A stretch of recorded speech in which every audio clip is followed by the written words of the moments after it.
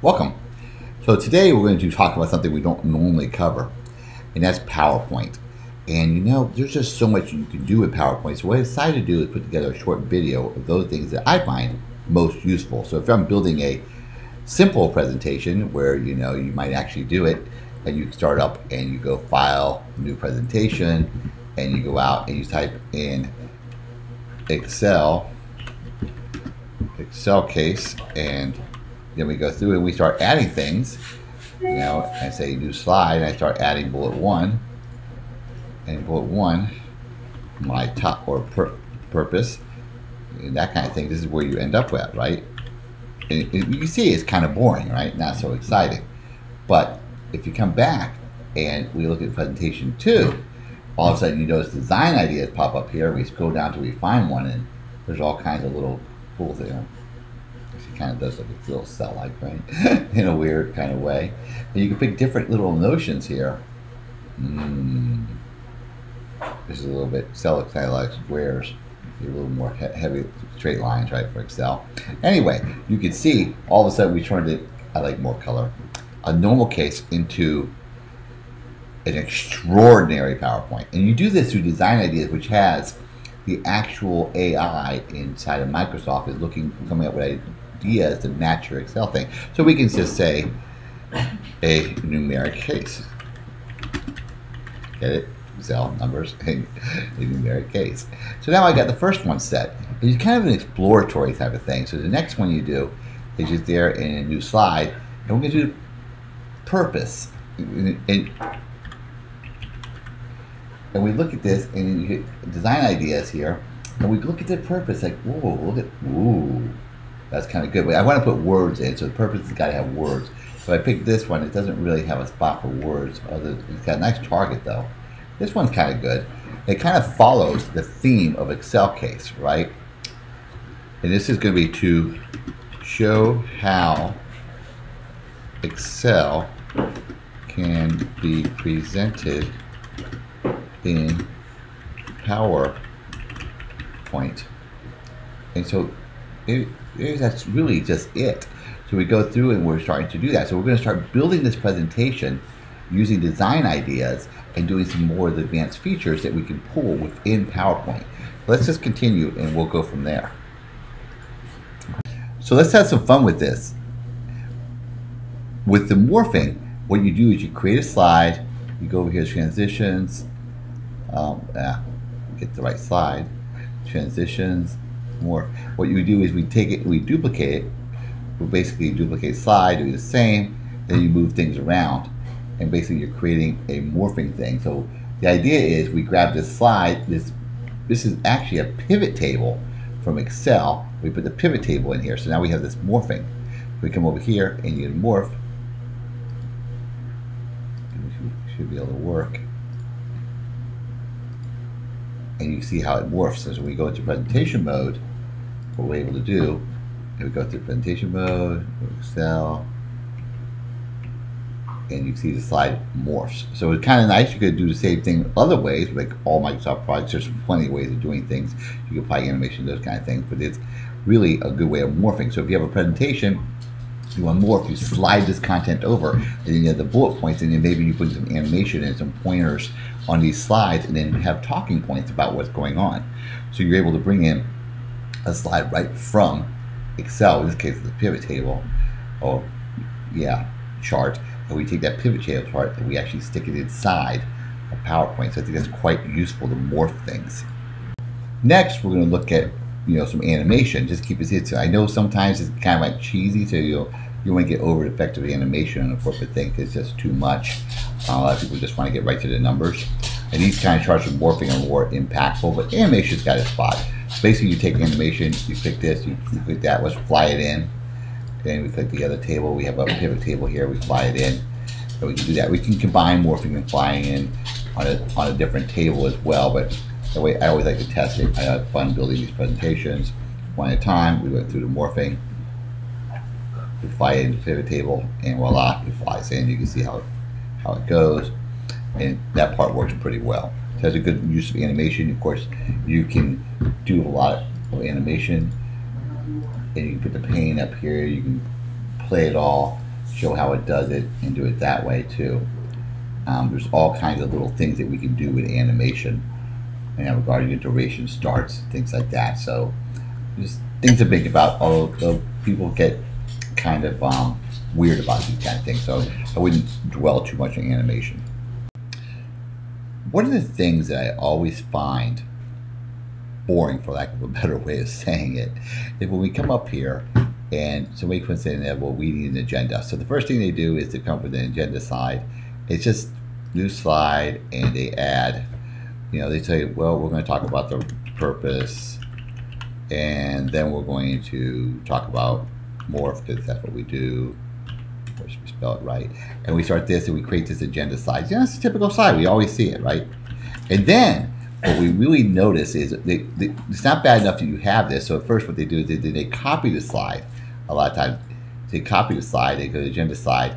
So first we go purpose, and then we come back here to show where we are, and they paste it back down, and they'll they'll show where they are, and they'll highlight it in some way or method, morphing at the next agenda point as they go into everyone. Now usually when you have big decks, you always see this agenda size. So I never really was a big fan of that. So what a much better way of doing the agenda side, or not really do agenda side, is to make your PowerPoint very interactive. We can do this by inserting zoom slides. So you click insert and zoom and you can create section slides, right? Summary zoom. And it's really great because then we can do the purpose slide, or the shift key because my, my keyboard's weird, the morph slide, the link pivot table slide, and the market penetration slide. And we hit enter. Now it creates sections and we have all these sections automatically created. Now I can have 20 slides in each section. So what I'm doing is now we can have the flow of the presentation, right? It's a little bit different. Flow of presentation. This way, we're not really presenting things in a manner that is just linear like we saw the other slides and you just click through it. The other thing I've seen a lot of is people will have these slides and you know, they'll pick the boxes and put it in the corner, make little boxes and you know, as a consultant many years and we always did that. But I think the flow of this makes it so much nicer when it's automated, especially if you're turning over a presentation to a client or something like that. So now when we go to the presentation mode, you can play it, of course, but I like to click on it. You see the purpose slide. You zoom in and then you click through and go through every one of the purpose slides. Then when you're done with that, you go to the morph slide. Click it, then you go to the morph slide. You see you're starting to go through the deck of slides for each section. The linked pivot table slide. And we got the fly-ins then you click it, it automatically by default goes back to the original Zoom slide. And we can have these whole slides and and it just works. And it's a nice way of guiding the presentation. It takes you back to the original agenda or flow of the presentation slide. And you can see this and you people are like, oh, you don't have to duplicate the slides and do all that. It just creates a live link, interactive, and flow back. And that's just a good thing to do. And you can, of course, edit it and change the way the behaviors work for the Zoom. But I find this to be a really a better way of presenting things. So I was going to actually leave in here, but I thought about it for a second. You know, you can. I talked about it, but then it, it occurred to me, me I didn't show it. So if you click on this area where the zoom slides, you see zoom tools, and you can click on zoom tools. And what that does is it allows you to customize the zoom. And there's different things. You know how we return to zoom, we go back to the, the zoom brick. You can take that on and off. The default's on, so you always go back, so you don't get frustrated. Zoom effects you know, I put bevel on here because I like to bevel my slides. I think that's kind of cool in that regard. So you can bevel things. And you can do all kinds of things in here. And so you get the different choices. I just wanted to let you know you can have the duration and things like that. So there's a lot of things you can do within the flow of the presentation. I just wanted to add a little more clarity. You don't have to just make it zoom one. You can actually make it kind of nice. Way different than just having a simple agenda as we talked about. But there's certainly a um, a better way of doing presentations as I had previously mentioned. So when you saw these presentations, one of the things we'd like to do is kind of link these up with Excel.